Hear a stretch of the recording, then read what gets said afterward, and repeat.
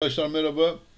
21 Ocak 2023 Cumartesi akşam Akıadak'tayız. Ee, Akıadak'ta Amerika'dayız. Şimdi Gavsin Park e, olarak göstermiş olmasına rağmen bu, programda e, biliyorsunuz top jokeylerin e, en yüksek derece yarışları Gavsin Park'ta oluyor Amerika'da. Bir tık aşağısına indiğim zaman da Aqueduct var. E, e, bugün 9 koşulu program var. E, seçme sebebi de Gökhan Kocakaya'nın e, Krakow Racing Limited'la yapmış olduğu anlaşmayla e, orada at koşuyoruz. Tabii jockeyimiz bizim. Şimdi biz de şöyle bir güzellik yapıyoruz. Bir günlüğüne mahsus olmak üzere bugün açık bir yayın yapacağız herkese. E, tabii ki son dakika şablonlarımız yine premium üyelerimiz olacak. Biliyorsunuz Amerika yayınlarımız tamamıyla premium üyelerimize ait ama bugünlük Gökhan Kocakaya'nın hatırına yani kendi e, top jokeyimiz sonuçta e, oraya gitmiş. E, bakalım nasıl bir sonuç alacak. E, bir tane iyi bir ata biniyor. iki tane, üç tane ata biniyor zannedersem yanılmıyorsam. E, evet, üç tane ata biniyor arkadaşlar ama bir tanesi iyi. Evet şimdi e, birinci koşuyla beraber başlıyoruz. Birinci altının ilk ayağı. Maiden satış koşusu saat 20.20'de. E, 4 yukarı yaşlı İngilizler 1200 metreye çıkacaklar. E, burada e, arkadaşlar e, 5 numaralı Patrick the Great Jose Lescano ile ön planda olan Safkan 80, 43 ve 61 en son yapmış olduğu 3 handikap. Bu e, handikap puanlarında. Tek atmayı düşünüyoruz biz arkadaşlar. Bu atın e, diğer tar- atlar tarafından geçilmesini e, pek öngörmüyoruz. E, iki tane burada rakip var. 3 numaralı e, Trevor Bardet, Jose Antonio Gomez'le. 65 ve 56 yapmış. O 7. ve 6. yaparken e, gayet e, iyi bir performans çıkartmış. Ve bir numaralı Makart arkadaşlar. E, Kenrick Carmouche'la.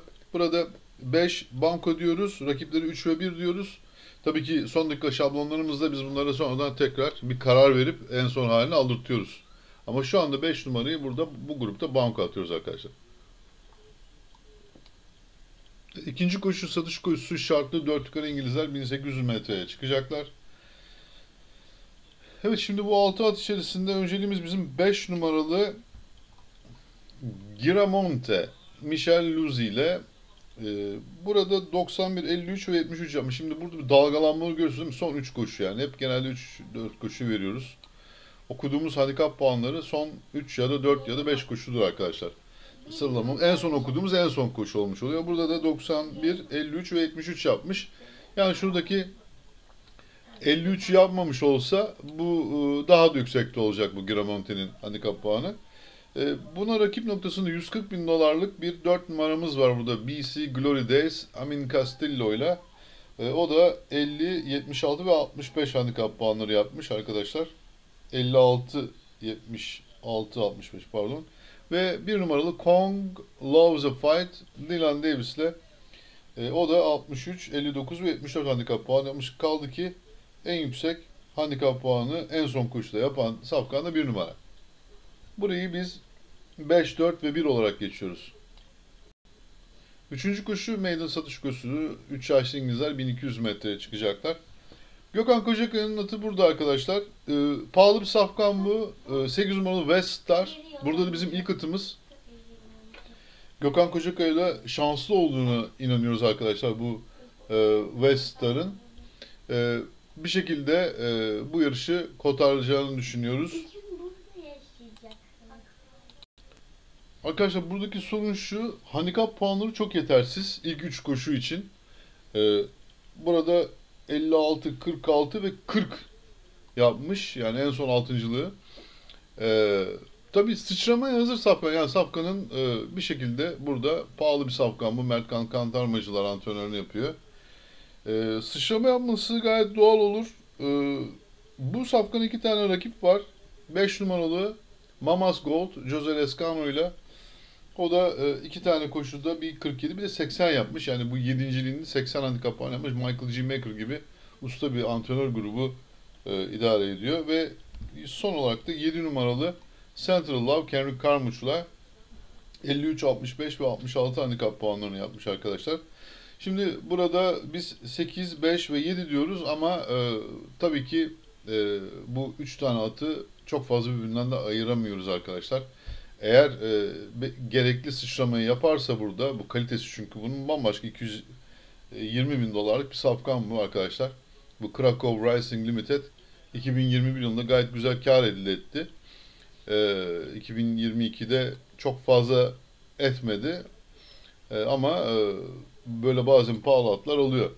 Evet, dördüncü koşu isim satış koşusu şartlı dişi 4 yukarı İngilizler 1200 metreye çıkacaklar. Arkadaşlar burada da 4 tane atımız var. Önceliğimiz bizim e, 7 numaralı Ben Sunny Island Dylan Davis'le. Şimdi bu safkan artık e, ayağının ucunda böyle 85 62 ve 75 yapmış son 3 handikap puanıyla. Bu grubu e, yani e, bu performansının e, 68'i bile yapsa burada birçok atı geçiyor. Yani 68 daha yapsa e, burada ki e, 85 62 75 özür dilerim. 62 ile bile birçok şey geçiyor. Gördüğünüz gibi bu 7 numara ilk atımız bir numaralı Affiliate Arlen Affiliate Arlen Jose Lescano ile arkadaşlar o da 82 73 ve 65 yapmış. Kesinlikle ihmal edilmemeli. 2 numaralı Darn That Song Herman Herky ile 68, 62 ve 70 handikap puanları yapmış ve son olarak 5 numaralı America's Pride Gerson denen vatandaşla e, 32 bin pardon 22 bin dolarlık bir safkan bu arkadaşlar. 7 1 2 5 olarak geçiyoruz burayı. E tabi varsa burada AGF oranlarına göre mesela şu 4'e falan bakmak lazım. Onu da ilave edeceğiz. Beşinci koşu şartlı 4 yukarı İngilizler 1600 metreye çıkıyoruz. Burada yine Gökhan Kocakaya, çıkıyoruz Gökhan Kocakaya var arkadaşlar. Gerçekten e, memnun oluyoruz yani böyle Türkiye'deki e, usta e, jokeylerin oraya gitmesi. Yalnız döndüğü zaman e, yani dönerse eğer e, bir müddet çok performans gösterir. Oradaki hıza e, buradaki atların uyması imkansız. Orada onun gördüğü hız, alıştığı atlarla alıştığı hızlar buradaki atlarla çıktığı Arap atları falan bunlar bambaşka. Yani arada e, büyük fark yok, dağlar kadar fark var. Evet, e, yani Dubai'deki Arap atlarının bile biliyorsunuz, görüyorsunuz nasıl İngiliz atı gibi koşuyor hepsi. E, burada önceliğimiz bizim 8 numaralı Optic Way. Romero Ramsay Maraklı arkadaşlar. 87 handikap puanıyla. Şimdi e, 90, 88, 86, 88 e, ve 89 ve 95 yapmış ilk atımız. 5 numaralı burada e, Dark Storm Gökhan Kocakaya ile 83, 82, 90 ve 90 handikap puanı yapmış son e, 4 koşu. E, 125 bin dolarlık bir safkana biniyor bu arada. Yani var, e, şansı var ama e, öyle çok şanslı değil. Ama şansı var. 3 numaralı Cool Quartet Dylan Davis'te 94, 83, 87 ve 80 handikap puanları yapmış. 2 numaralı Grams Little Toots Jose Antonio Gomez'le 89, pardon 81, 87 ve 71 yapmış. 6 numaralı My Friends Beer Jose Lescano ile 85, 74 ve 85 yapmış. İlginç bir e, at şimdi 7 numaralı Belly Dudley Henry Carmouche'la 97, 85, 94 ve en son arkadaşlar 48 yapmış. Şu 48'i yapmasa e, bu Safkan ciddi şekilde belki de 90'larda bir handikap puan e, ortalaması çıkacak. Bu 7 numara. Bunu da mutlaka yazalım. Burada arkadaşlar e, sıralamamız 8 5 3 2 6 7 8 5 3 2 6 7. Evet, e, ekürleri pas geçtik. Onları dileyenler bakar ve kendiniz de tabii ki yazabilirsiniz, ilave edebilirsiniz arkadaşlar. Biz önceliğimiz bize göre uygun olan atları yazı- söylüyoruz. Altıncı koşu şartlı 4 yukarı İngilizler 1200 metreye çıkacaklar. Burada bir tane alternatif bankomuz var. Bir numaralı Quick Return Jose Lescano ile alternatif banko e, 102, 78 ve 97 handikap puanları yapmış bu safkan. E, Antonio Arriaga burada e, antrenör grubu. Bu safkanın rakip noktasında 4 numaralı Alarm Clock 125 bin dolarlık safkan bu. Ve 6 numaralı Drunkins Call Dylan Davis ile 91, 101 ve 88 yapmış. Yani bu bir alternatif banko 4 ve 6 yakın rakibi ve burada tabii ki AGF oranının oynayışına göre de Ee, yazabileceğimiz at var mı ona bakacağız. Bunlar kim olabilir? Tabii ki 2 ve 3 numaralı safkanlara da bakmamız gerekecek. 7. koşu opsiyonel satış koşusu. Şartlı 4 yukarı İngilizler 1400 metreye çıkacaklar. Evet 7. koşuda da yine Gökhan Kocakaya burada start alıyor arkadaşlar. Yalnız şansının en az olduğu yer burası. Ee, tabii inşallah sürpriz yapar. Ee, neden olmasın. Ee, burada Amerikan Pro yavrusuna biniyor. Burada ilk atımız 7 numara arkadaşlar. 7 numara muhtemelen burada e, biz bankoya çevirme ihtimalimiz var. Alternatif bankomuzun Excellent Timing adında. Kenrick Carmuch'un bindiği bu safkan 103, 98 ve 108 yapmış. Yani bu safkan e, şöyle söyleyeyim artık ayağının ucuna gelmiş. Son 3 koşusunu gördüğünüz gibi 3-5-2 e, yapmış. Yine 4 numaralı burada e, baktığımız zaman Who, Who, That's Me Dylan Davis ile 104.97 e, ve 101.98 yapmış arkadaşlar. 101 mi 107 mi neyse bilemiyorum. 109 olabilir o. Evet 104.97 109.98 e, bu safkanın da yine ayağının ucunda yani aynı 7 gibi zaten o yüzden e, burada alternatif banko yapabiliyoruz 7'yi. Aksi takdirde banko yapardık.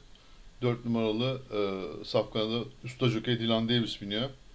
5 numaralı burada Big Engine Jose Antonio Gomez ile arkadaşlar 80 bin dolarlık bir safkan ve son olarak 2 numaralı Prince of Paraos e, Gökhan Kocakaya, Gökhan Kocakaya ile 96, 94 ve 60 60 azalan böyle yani düşen bir handikap puan grafiği var safkanda fakat zıplama yapabilir mi?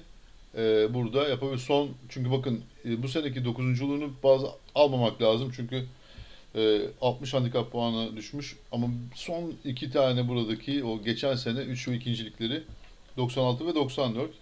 Bu da şu üstteki rakiplerinin e, bu 95 puanın 96 puanın altına düşmesini bekleyecek ki o da bir tık daha iyi hareket ederse e, belki bir sürpriz yapabilir ama daha henüz 100 handikap puanını bile görmemiş hayatında. E, kaldı ki burada e, 7 numara, 4 numara, 5 numara bunlar hepsi 100 handikap puanı görmüş safkanlar. Ama biz yine de 7, 4, 5 ve 2 diyelim.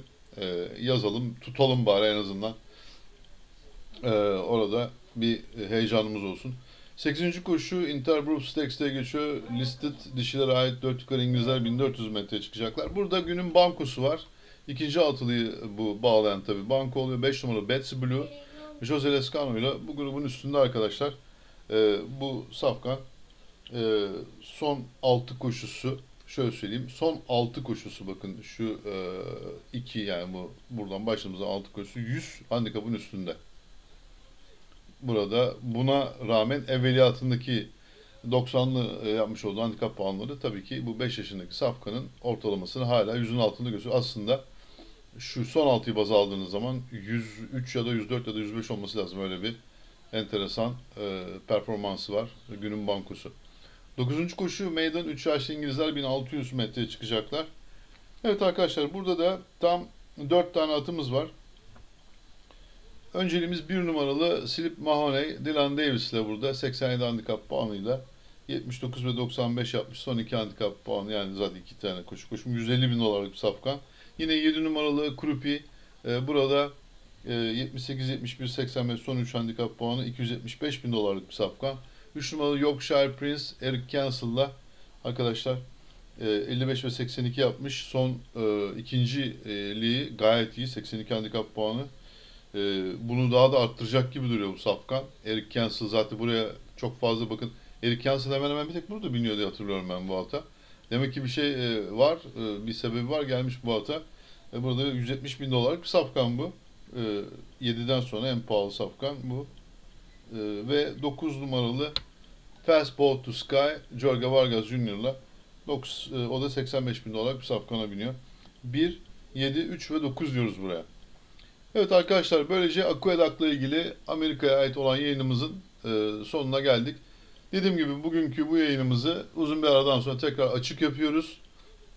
Tüm e, herkes, e, bizi izleyen herkes bundan yararlanabilir. Ama e, son dakika şablonlarımız yine tekrar ediyorum. Günün bütün koşullarına ait son dakika şablonlarımızı biz e, sadece premium üyelerimize özel veriyoruz. Bunu da vermeye devam edeceğiz. E, herkesi premium üye olmaya davet ediyoruz arkadaşlar. Böyle bir imkan var. her bütün Amerika koşullarını bu şekilde derinlemesine e, rahatlıkla inceleyebiliyoruz ve premium üyelerimiz devamlı e, bize teşekkür gönderiyorlar. E, teşekkür ediyorlar ve belirli periyotlarda tutuyorlar arkadaşlar. E, sizleri de bekliyoruz. Herkesin e, bol şans diliyoruz. Güzel bir cumartesi akşamı olsun. Hoşçakalın.